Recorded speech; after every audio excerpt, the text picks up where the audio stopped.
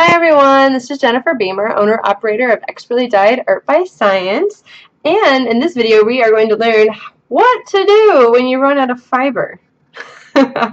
so uh, this was actually the hardest thing for me when I first started learning how to spin is how do I attach more fiber without it falling apart? Um, my biggest problem was it would either be a really fat spot or the overlap wouldn't be enough and the yarn would just draft apart at that spot. Um, so I will show you as best as I can how to prevent this from happening. Uh, but part of it is just doing it a billion times and then finally figuring out how to make a join such that it stays together and is imperceptible to anyone looking. So they won't be able to see where you joined the fiber together. So we're going to still do our park and draft method. So I'm going to load this up with some extra twist, shove it under my arm, and then I'm going to draft basically to the point just before the fiber ends. Okay, and looks like I'm gonna, need a little bit more because there's not enough there's not enough twist here for me. It would be a very weak yarn, I think if I didn't add more twist. So I'm going to do that, park it under my arm, draft out a little bit more. Now, the key to making a smooth and unnoticeable, um, oh, you know, I'm, you know what I'm going to do? I'm going to shorten this a little bit so it's easier for me to work with and for you to see. Okay, so I'm going to do a close-up of this real quick too because was looking at my last video and it's kind of it's kind of hard to see. So it's up there. Oh, it's up there in the notch. And I'm to take my, oh, let's get back at the frame here. I'm to take my thumb, go under once, and under one more time. And this part is going to go bloop, around the hook. Oh, where's the camera? Oh my gosh. Ta-da! So it's going to go around the hook like that. I'm going to just hold the hook to keep it from escaping. I'm going to pull it tight like this.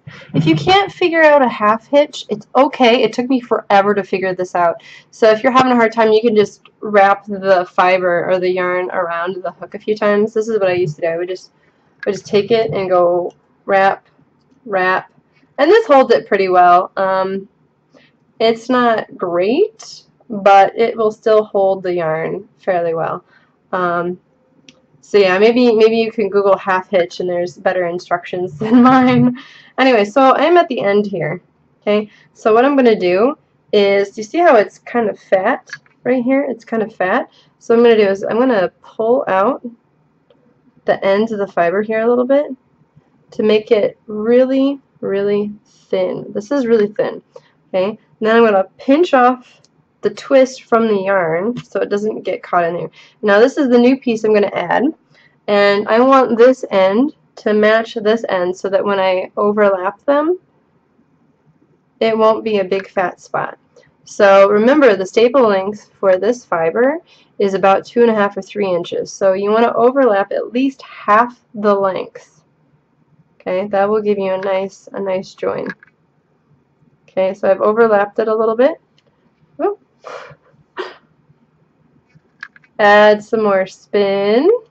I should really make a bloopers video because, you know, a lot of times I, I just fail miserably my first three attempts, so I get frustrated and decide to do it again. So I let go of the twist with my uh, left hand here, and I have this still pinched so it doesn't get into my fiber supply.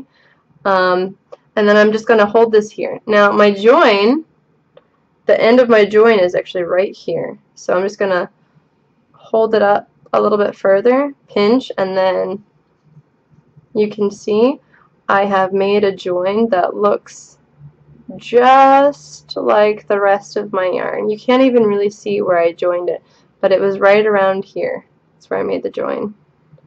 So, um, let's do that again going to shorten this a little bit so it's easier for you to see. And sometimes you'll find um, in your fiber there's something that you don't like about it. There's a rough spot or a nubby piece of fiber that you don't want. And you take it off, you pull off the piece that you don't like, and then um, you know you continue uh, spinning by rejoining the fiber. I do that all the time. So um, just gonna get this back down to the end here, and you see there's actually a little piece in here I don't like.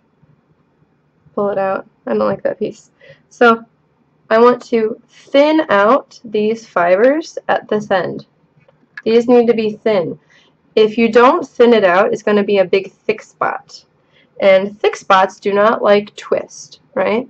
So the thin spots get a lot of twist, the thick spots don't. So if you have a really thick spot, it's not going to hold together as a very good join. And then with this side, I'm going to draft this a little bit thin. And I'm going to overlap again. Let the twist travel into my join, like so. And there we go. We have another join, and you almost cannot tell at all where I made that join. Add a little bit more spin. Park it under my arm. And I'm just going to keep going like as if this was one big continuous piece of wool. Alright? Like that. See? And then I and then I have some yarn. Yay! So if you found this video useful, please like it, share it, send it around the internet. Let other people know about me. Subscribe to my channel. Follow me on Twitter and check me out on Facebook.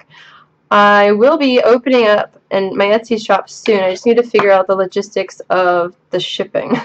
I know this sounds like a broken record because like six videos I did in a row talked about me figuring out the shipping. But in Korea, it's not as easy as you would like it to be. Um, although they make the shipping boxes super cheap.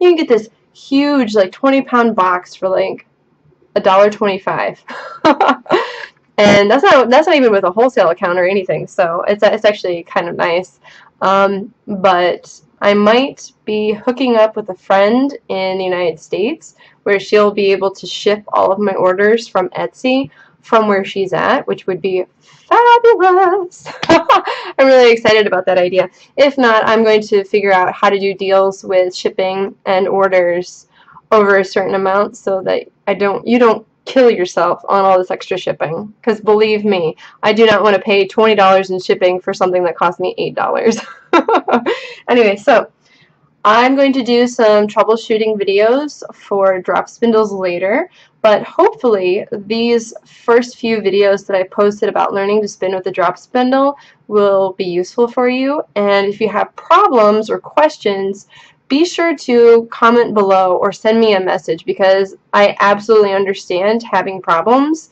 with spinning and not knowing how to fix it. Especially if you learned with someone and then you go home and you're like, oh gosh, how do I do this again? so, totally been there. Anyway, so Learn to spin with a spinning wheel will be coming soon, but I have to get that all set up, and I have to have my husband here. He is currently at work this morning. So, um, yeah, I need, I need help with uh, the setup just to make sure that you guys can see what it is that I'm doing. Anyway, so, long story short, subscribe. Bye.